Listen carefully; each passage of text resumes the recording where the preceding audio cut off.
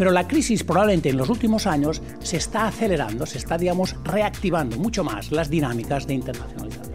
APD ha creído que era importante convocar una sesión sobre poner al día los, los criterios de interpretación del marco del marco, digamos, de gestión de los procesos de innovación, en el contexto más estructural, conceptual, pero también en el ámbito más tributario, que es uno de, de los aspectos básicos y para ello hemos contado con todo el expertise y el conocimiento de uno de los más importantes despachos hoy que eh, asesoran esos procesos eh, en las empresas. Gracias a esa iniciativa por puesto complicidad. ¿eh? Este año creemos que esta jornada pues, cobra especial importancia porque necesitamos concienciar aún más, si cabe, la importancia de la innovación, como además ahora decía el señor Francesc Coms, en la construcción del estado del conocimiento que tiene que, mejorar nuestra situación actual. Las administraciones públicas realmente están apostando fuertemente y, tienen pues, un gran recorrido de cara, al futuro. Nosotros nos daremos por satisfechos si en la jornada de hoy se cumplen nuestros objetivos, tanto de divulgación de los incentivos, de concienciación de la innovación por parte de las empresas. A todos tanto ponentes como asistentes, pues estar aquí eh, en un entorno de lujo como es este palacio y componentes de la categoría que tenemos hoy. Ante la agencia tributaria mm, hemos, vivido un poco la evolución que ha sufrido el, incentivo.